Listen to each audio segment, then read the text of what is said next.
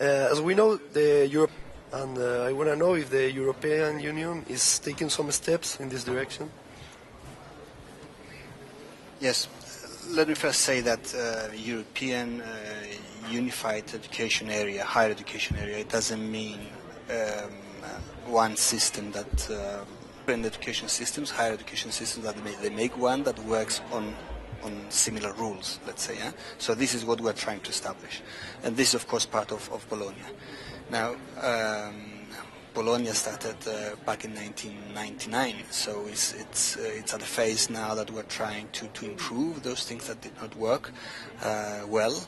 At the same time, everything shows that um, the recognition of, of uh, qualifications is a very important dimension. This is something that will count a lot on mobility. I have seen Promission and also other bodies like the Economic Social Committee and Parliament showing how youth mobility can be beneficial for the future of Europe. So, and whether this could be foreseen uh, in the upcoming programs when we discuss the budget of the EU. Okay, thank you very much for your intervention. It means uh, to provide graduates that they can follow up the technology, which is also changing in, in much more faster uh, uh, uh tempo than the, than the universities do themselves. So it's, it's, a, it's a mixture of, of, of measures that we need to take. Extremely skilled or extremely specialized into one direction.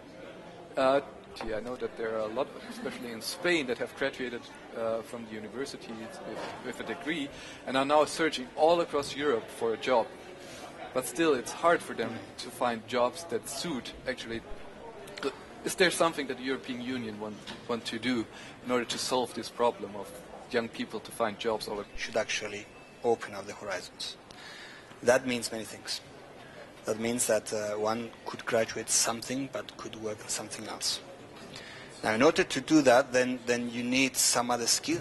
And that is related to what we said about the, the, the skills to actually be able to follow up what is, what is happening. It's, uh, it's interesting. Every question was money. We want money. We like, the moment the euro is just, I mean, we all have so much debt, we can't even pay anything.